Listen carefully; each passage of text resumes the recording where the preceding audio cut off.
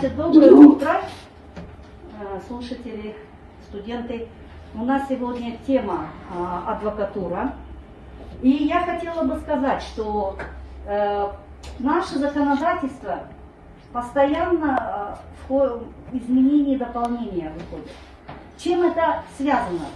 Я думаю, и вы со мной согласитесь, что наш Казахстан, наш Казахстан идет куда?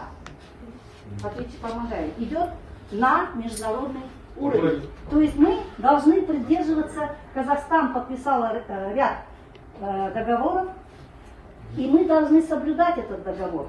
А там же нормы международного права. Поэтому ратификация того или иного э, ратификация той или иной конвенции, и после ратификации, когда Казахстан подпишет, выходит закон о внесении изменений, дополнений в Республику Казахстан, и этот закон может захватывать 20 изменений в кодексе. Но мы с вами берем ту, тот пункт, который касается адвокатуры.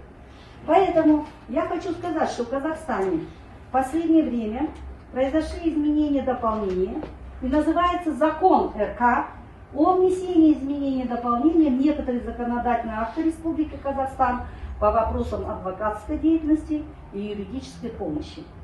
Данную информацию я взяла с источника, например, э, казахстанской правды, потому что казахстанская правда является основным э, э, журналом, который фиксирует все изменения и дополнения, и, или наоборот на усмотрение граждан могут посмотреть все граждане, не только депутаты, которые голосуют, и предложить свои мнения, несогласия, то письменной формы могут отправить на законодательный орган, если не согласны с теми или иными положениями.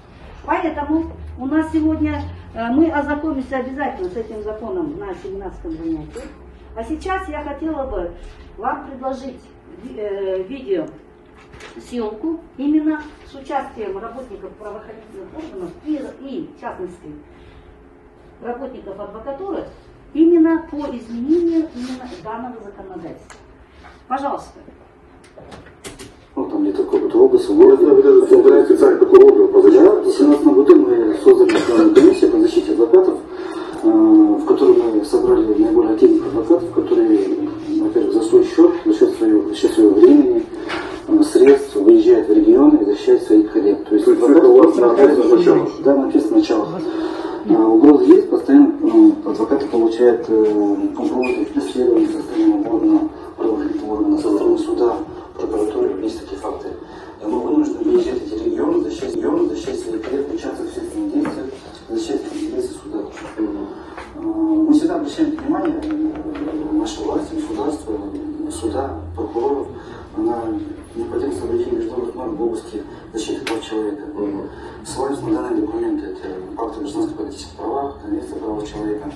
Есть основополагающие принципы юристов, где ну, прям твердо установил, что государство должно обеспечить, чтобы а, адвокаты и юристы не подвергаются угрозам преследованию в связи с осуществлением своей деятельности.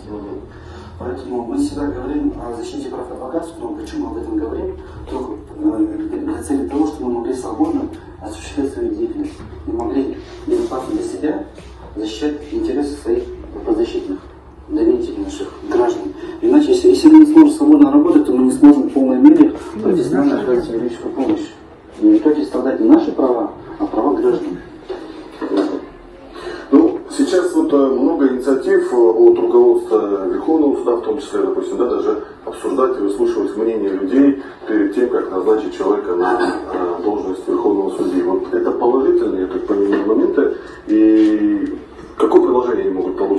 может быть, э, я не знаю, это областные судьи тоже как-то вот, э, учитывая общественное мнение. Как вот в этом плане адвокатура может помочь, чтобы судьи стали более качественными, или как вот вы сказали, что вы уже не хотели работать легко, что называется. Заседаниями областных судов рекомендует кандидатов в составы Высшего судебного совета, судебного жюри и комиссии по кадровому резерву при Высшем судебном совете, а также состав комиссии по качеству правосудия при Верховном суде. Судьи, делегируемые в состав расширенного пленарного заседания Верховного суда, не должны являться председателями коллегий председателями судей. Порядок работы пленарного и расширенного пленарного заседания Верховного суда определяется утверждаемым им регламентом. Необходимо э, нам две минуты всего рассказать о статусе судей. В соответствии со статьей 23 судей, статус судей, э, судьи всех судов Республики Казахстан обладают единым статусом и различаются между собой только полномочиями. Судья является должностным лицом государства, наделенным установленным Конституцией Республики Казахстан и настоящим конституционным законом порядке полномочий по осуществлению правосудия, выполняющим свои обязанности на постоянной основе и являющимся носителем судебной власти. Правовое положение, ребята, судей, определяется вот Конституцией. Конституция, как вы знаете, является основной, э, основой э, э, правовой системы. Правового пленарного производства по итогам обсуждения выносит соответствующие решения.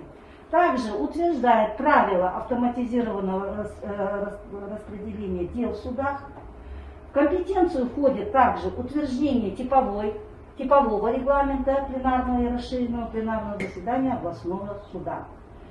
Далее, осуществляет другие полномочия, полномочия, предусмотренные законом. Пленарное заседание правомочно при наличии не менее двух третей от общего числа судей Верховного суда.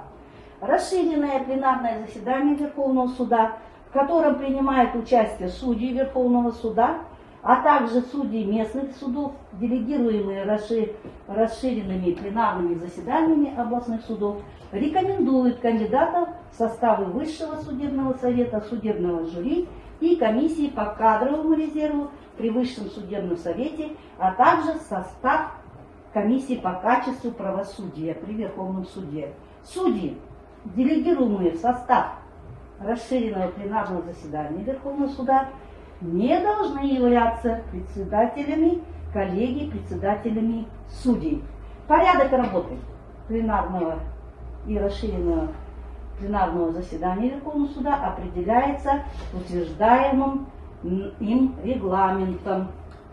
Необходимо э, нам э, в соответствии с вышеуказанным законом у нас э, в статье 22 предусмотрено пленарное и расширенное пленарное заседание Верховного суда. Пленарное заседание Верховного суда по представлению председателя Верховного суда устанавливает численный персональный состав соответствующей судебной коллегии.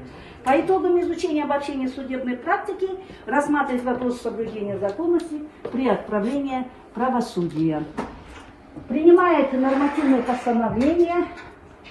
Постановление дает э, также э, дает разъяснение по вопросам судебной практики а так и вносит предложения по совершенствованию законодательства. Заслушивает информацию председателей судебных коллегий Верховного суда и руководству и руководителю уполномоченного органа. Также дает заключение в случае предусмотренного пункта 2 статьи 47 Конституции РК.